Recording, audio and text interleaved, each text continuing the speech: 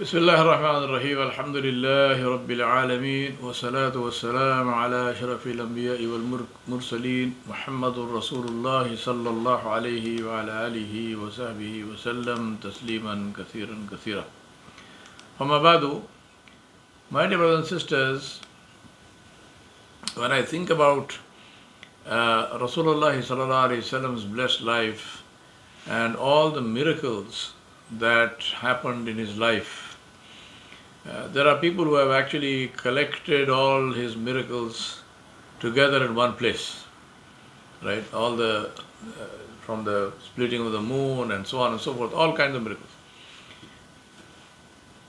But in my view, the biggest miracle of Rasulullah of course the Quran itself is one, but the biggest miracle of Rasulullah was the creation of the Ummah, was the creation of the brotherhood of faith that he was able to do in Medina.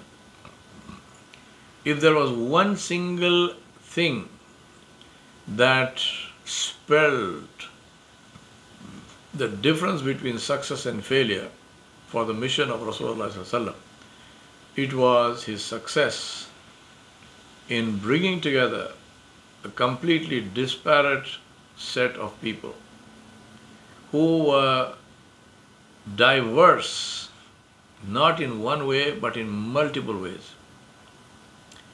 And who were steeped in traditions and in uh, ways of thinking that reinforced their prejudices, that reinforced their mutual hatred for one another, that reinforced discrimination of all kinds.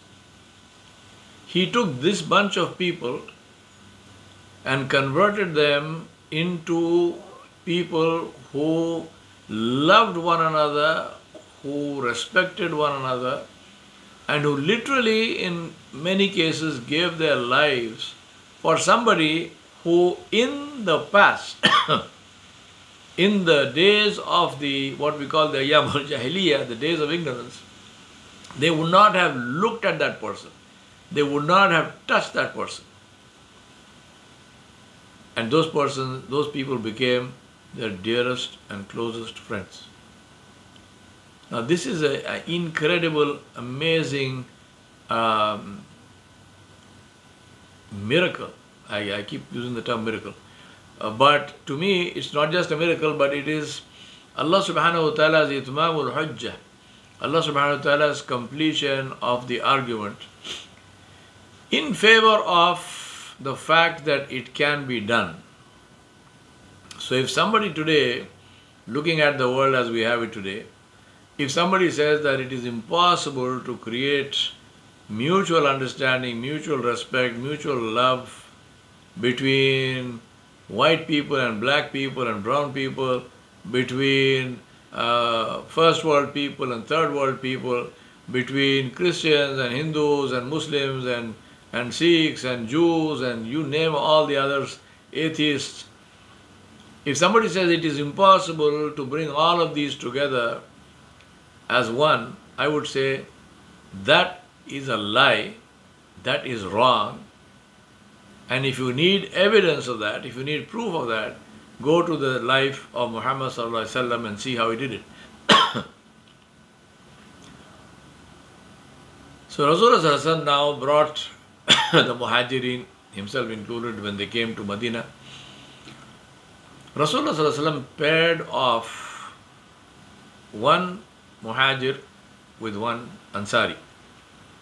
Again, as I mentioned yesterday, Hijrat is usually translated as migration. But please understand, this was not migration in any sense that we might think of. These were not people who were going to Medina because they were looking for better jobs and in the hope of uh, starting new businesses because Medina is a bigger economy and uh, there is this and there is that. You know, the usual reasons. Today, for example, uh, in our modern times, when I say today, I don't mean 2022, I mean for the last several decades, um, why people from so-called third world countries have migrated uh, to so-called first world countries, to Europe and America primarily, uh, is for economic reasons, right? The majority of them, they came because uh, the life in these countries is uh, more comfortable, they are safer, there are more opportunities, a bigger economy, they are able to uh, to do better than they would have done in their own home countries. So this is the main reason, but this is not the reason why Rasulullah and the Sahaba came from Mecca to Medina. They came because they were driven out. They came because they had no option, they had no choice.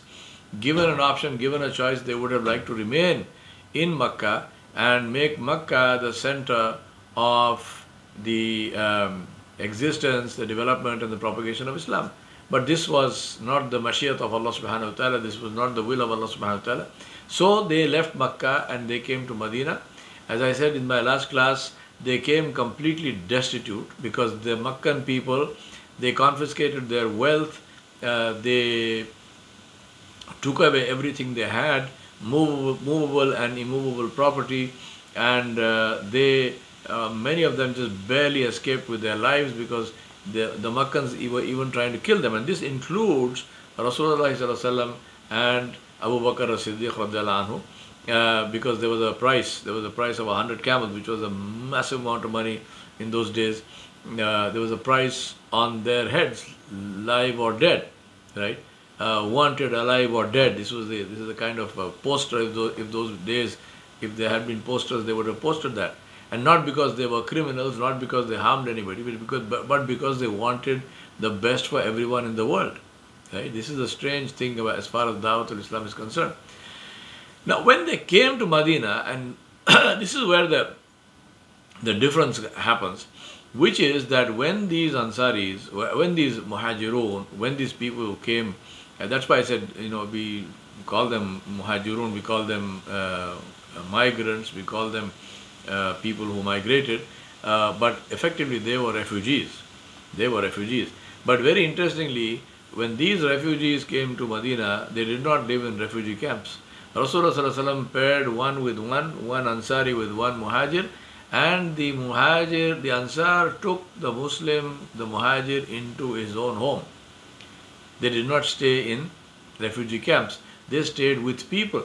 Now this is one of the very beautiful elements of uh, Islam and Islamic culture which seems to have been lost because today uh, take for example uh, orphanages right uh, on a side note I uh, remember somebody told me that they, in India uh, when uh, Maulana uh, Abul Kalam no, not Maulana Abul Ala Maududi Rahmatullah the person who formed who, who is the founder of Jamaat Islami uh, when Abul Ala Maududi was alive, um, sorry, this is redundant, redundancy in uh, in speaking. I don't know why we, we always, when he was alive, obviously he could not have done it if he was dead. Anyway, uh, so somebody went to Abul Ala Maududi and invited him to inaugurate a yatim khana, as we call it, uh, an orphanage uh, in, in, their, in their city. And Abul Ala Maududi rahmatullahi refused. Um, so they were uh, they were surprised and, and, you know maybe they were hurt or something. They said you know, we are trying to do a good thing. Why would you oppose it? Why would you why would you uh, refuse? He said because to put orphans into a separate facility uh, uh is like rejecting them, and it only increases their feeling of loneliness and abandonment. They already they have no parents. To stick them into a facility, no matter how uh, luxurious that might be, and have them being cared for by paid servants who are the, the people in the who take care of the inmates uh, only enhances and increases their feeling of being lost and be uh, and having nobody in society. He said, "This is not what Islam teaches us. Islam teaches us to take the orphan into your own home and give the orphan a family. the, the orphan does not have his his or her biological parents, but the adoptive parents become literally like parents. Obviously, there are rules of hijab and so on once the, once the orphans become uh, mature, but it gives them a feeling of being part of a family, which is what is lost. It's not because of food and, and, and shelter. What is really needed is that emotional support. which they will never get in an orphanage. Now, the same thing happens if you take the refugees and stick them into a refugee camp, even if it's a five star hotel, it is still a refugee camp. Very, very different from accepting them in your own home and treating them like your own brothers and sisters. It is completely, in today's world, you know, it is not even any use saying this because I don't think there's anybody who's willing to accept it. But these are the, some of the most beautiful things about Islam, which if we accepted, we would create a very, very beautiful society based on compassion and based on, on, on really, uh, you know, true love for each other without discrimination. Now, Rasulullah also some of the people he paired, obviously not everybody because there wasn't that much, but some of the people he paired with were people who were so disparate and so completely different from each other that you would never believe that these two people could actually become brothers. But they were. Bilal bin Rabah was paired with one of the Ansari, with one of the Arab, uh, Arabs of uh, Al Ansar. Um, uh, Salman al Farsi, who was a, uh, was a Persian, and you know, among the Arabs, this was a matter of uh, they were uh, very chauvinistic as far as language was concerned. Uh, he was paired with uh, with uh, Abu Darda al Ansari.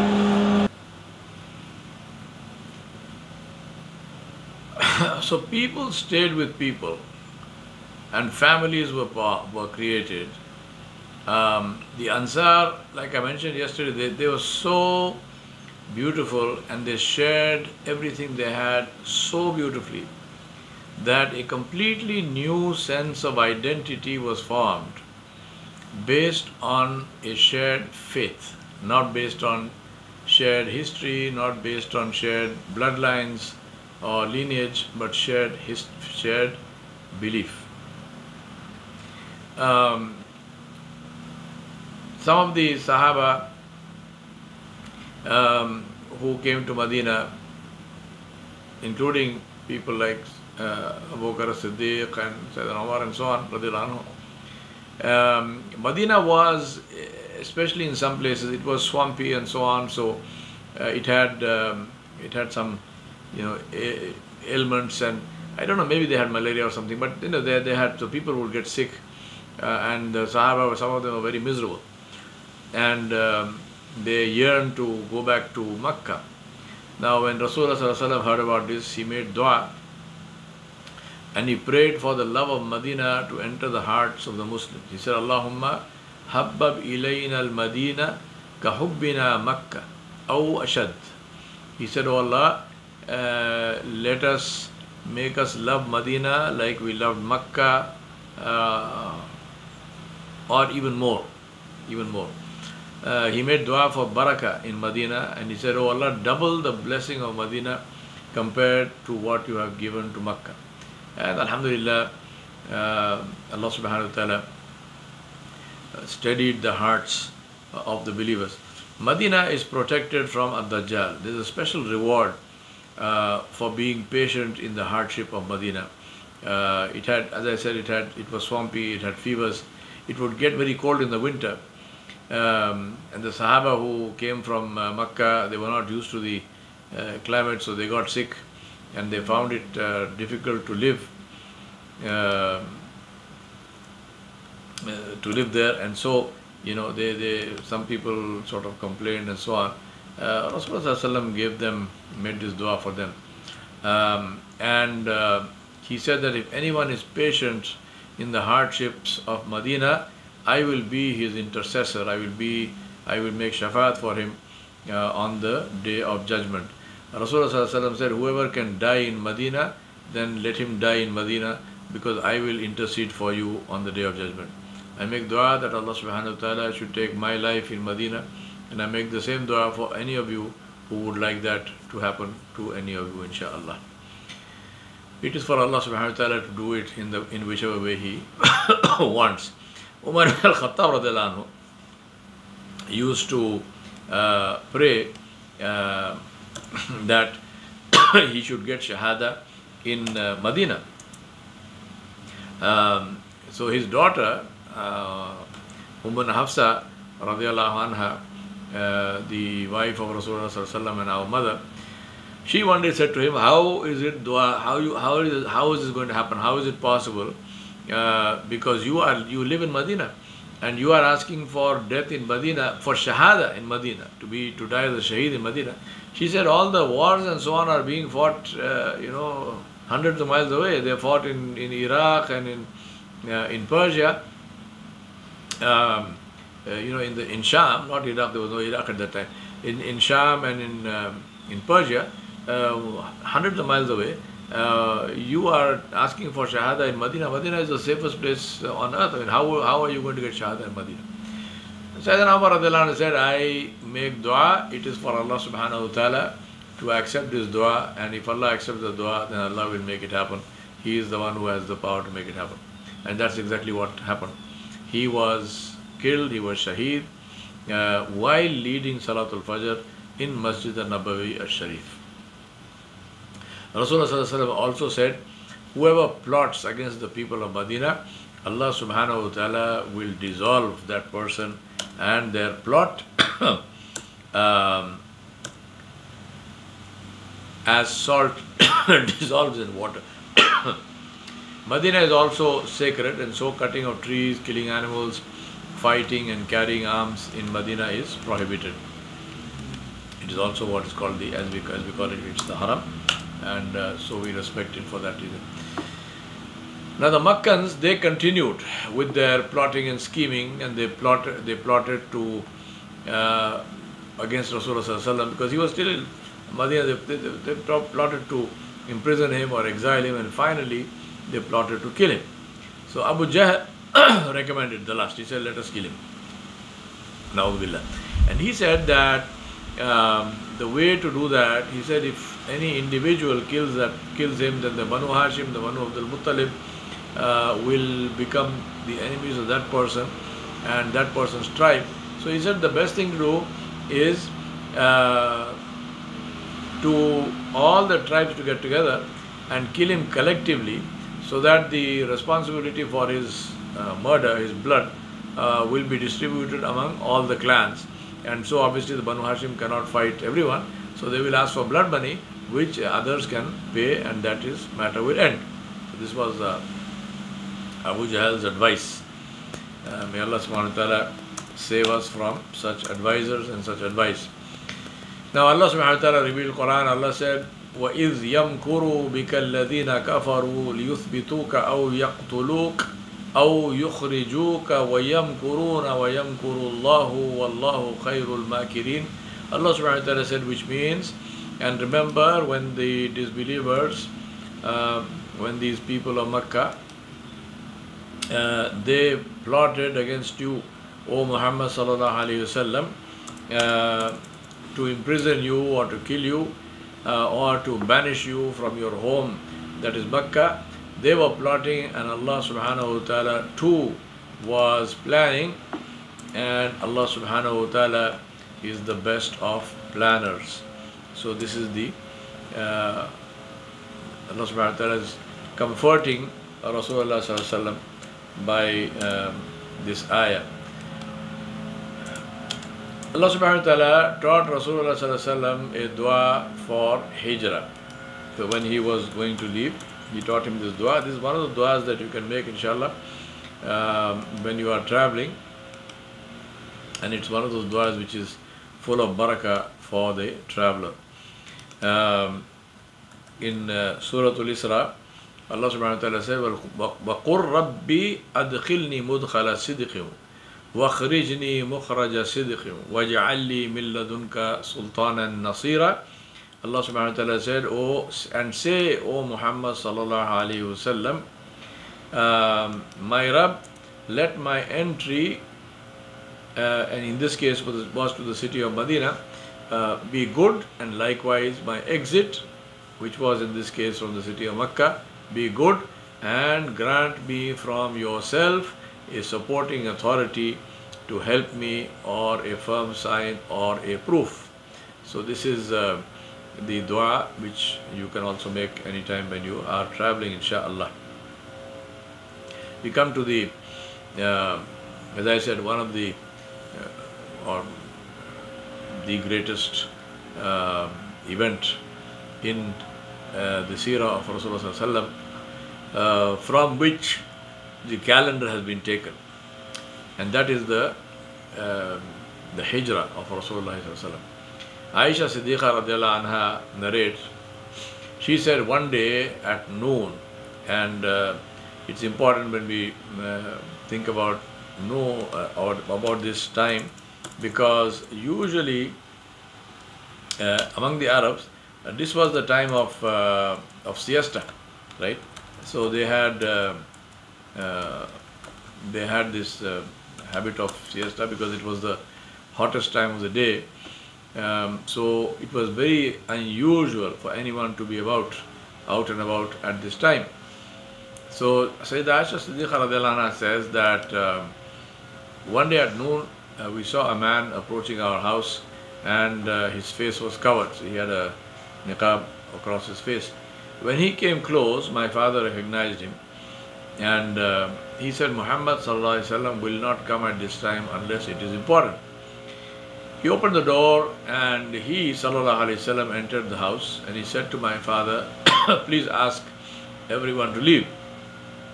Abu Bakr said, Ya Rasulullah, there is no one here except your family. So he's saying that, you know, your family is my family. Rasulullah accepted that and he said, uh, then I, he said, uh, I have been given permission to leave Makkah and make hijrah. Abu Bakr anhu, had tears in his eyes and he said, Alhamdulillah, and he said, can I be your companion? Can I, can I go with you? Rasulullah uh, said yes, and Abu Bakr Siddiq started weeping with happiness. Aisha anha said this was the first time that I saw anybody weeping with joy. Yeah, this is a, for her it was a uh, strange thing that her father is uh, so happy that he is actually weeping uh, with joy. It was a dangerous journey to say the least, but Abu Bakr anhu was so happy that he was to be the companion of Rasulullah sallallahu alaihi wasallam. Um, one of the lessons from here is that it is a question of how the company is more important than the destination. Um, even in, in our lives, uh, good companions will take us to a good destination, right? Bad companions will take us to a bad destination. Sometimes the destination in your mind might be something good which you which you would have liked to uh, to go to, but uh, because the companions were not good, uh, you know, it is possible that you might not uh, reach that destination. So it is something which is uh, important to keep in mind uh, the importance of uh, good companions. So Rasulullah asked Abu Bakr Siddiq anhu, to get two camels ready. Abu Bakr said to him, I already have them ready, Ya Rasulullah. Um, I had a feeling that your Rabb would uh, permit you to leave Makkah, and so I prepared the camels. Rasulullah said, I will pay for them. Abu Bakr Siddiq said, Whatever it pleases you to do is acceptable to me. Now, this is the, again, so many things we learn uh, from Abu Bakr as-Siddiq anhu. Uh, may Allah bless him and may Allah subhanahu wa ta'ala increases darajat in Jannah. This is the basic usul, the rule of uh, hospitality to do what pleases the guest. Unfortunately, we uh, in our uh, cultures, uh, we impose on the guest uh, you know, we make life difficult for the guest. It's like, so when somebody comes, for example, you say, no, you have to eat. You must eat with us. If the guest said, look, I just ate. He said, no, you have to eat. He said, if I eat, I will die. He said, no, die, but eat. You know, this is the kind of, uh, we think this is being hospitable. Uh, we will take and put food into the plate of the guest uh, when the person is eating, uh, forcing them to eat more than what they would normally have eaten and so on. All of these are not rules of hospitality. These are all things where uh, it is you are imposing uh, on the guest. as one of my uh, asatiza, one of my teachers used to say, मेहमान नवाजी के माने हैं कि मेहमान की मर्ज़ी चलाई जाए मेहमान की मर्ज़ी के मुताबिक काम किया जाए। ये नहीं कि आपकी मर्ज़ी ज़बरदस्ती मेहमान पे चढ़ाई जाए। इसके माने मेहमान नवाजी नहीं है। Use to say that that hospitality doesn't mean Uh, hospitality means that you do whatever you are doing according to the wish and the desire of the guest. Hospitality does not mean that you impose your you impose your will on the guest. This is not hospitality. So he said, whatever it acts is, is pleases you. You want to pay, Alhamdulillah, it is barakah for me. I will take the money. If you don't want to pay, Alhamdulillah, this is my gift to you. So he didn't say all of this, but that's what he meant. He said, whatever it pleases you to do is acceptable to me, and that's the real rule of hospitality. Rasulullah then appointed Abu uh, Ali bin Abi Talib anhu, uh, to sleep on his bed and uh, the reason was not because he was afraid of uh, death uh, or he was afraid or he was putting Sayyidina Ali in a place where uh, if they were attacked then Sayyidina Ali would be killed. It is because Rasulullah had a lot of things which uh, the people of, of, Makkah had given him for safekeeping.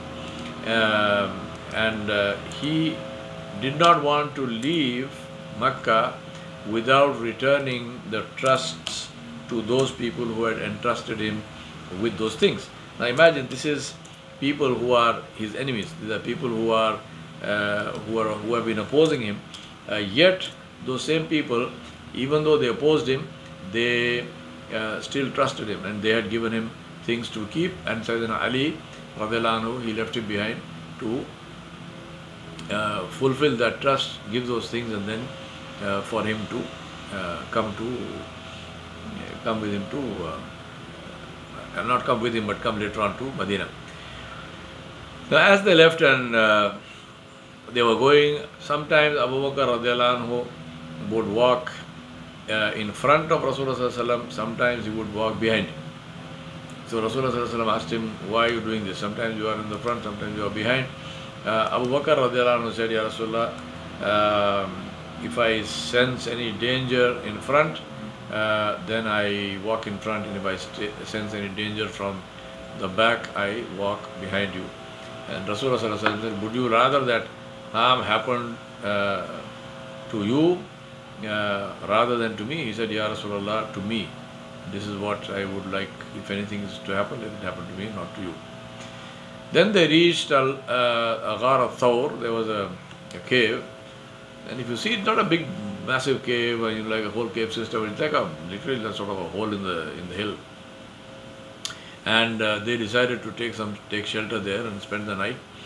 Uh, Abu Bakr went inside uh, to check uh, to see if there are any, uh, you know, anything harmful inside the cave. Um, and uh, he, when he was satisfied, he called Rasulullah and they took shelter in this cave. Uh, now the people had, uh, the Quraysh had uh, put, as I mentioned to you, a, a, bounty on on the heads of Rasulullah and his friend Abu Bakr as-Siddiq and uh, so next morning uh, they came and I mean they, they literally sort of uh, caught up with them. Rasulullah and Abu Bakr Siddiq literally stayed in that cave for three days and uh, Asma bint Abi Bakr anha uh, the daughter of Abu Bakr Siddiq the older sister of Sayyidah Aisha anha, she would bring them food.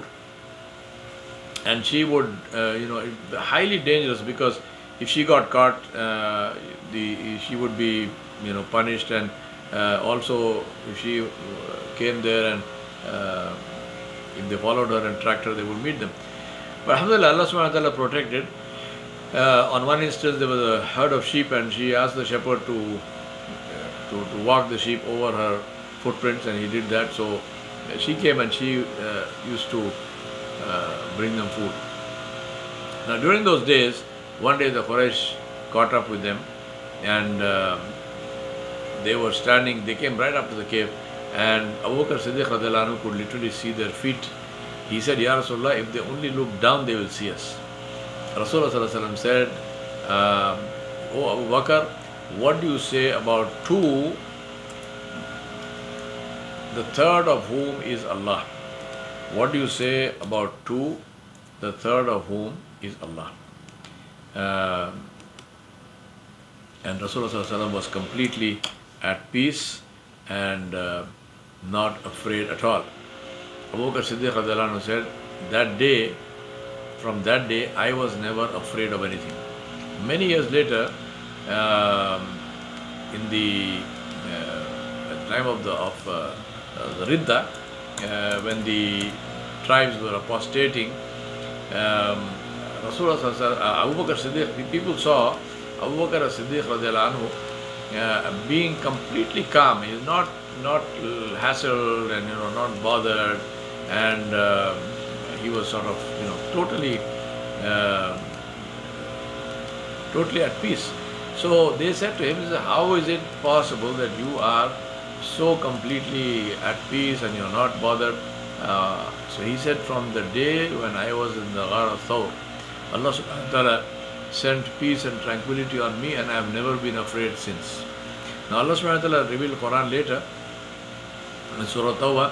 Allah Subhanahu wa Taala uh, said uh, to the believers, إلا تنصره فقد نصره الله إذ أخرجه الذين كفروا ثاني اثنين إذ هما في الغار إذ يقول لصاحبه لا تحزن إن الله معنا فأنزل الله سكينته عليه وأيده بجنود لم تروها وجعل كلمة الذين كفروا كفروا السفلى وكلمة الله هي, العليا. والله عزيز حكيم. subhanahu wa ta'ala said if you help him Muhammad or not it doesn't matter. Because Allah already helped him. When the disbelievers drove him out the second of two when they that is Muhammad and Abu Bakr as-Siddiq radhiyallahu were in the cave and he wasallam said to his companion Abu Bakr do not be afraid. Do not be sad. Do not be afraid. Surely Allah is with us. La tahzan inna Allah ma'ana. Don't be sad don't be afraid. Surely Allah is with us. Then Allah subhanahu wa ta'ala sent down his tranquility.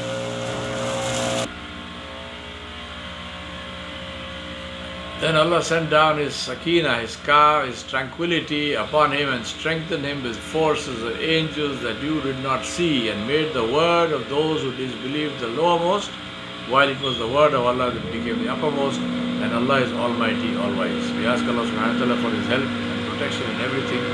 We ask Allah subhanahu wa ta'ala to save us from displeasing Him. وصلى الله على نبي الكريم وعلى آله وصحبه أجمعين برحمتك يا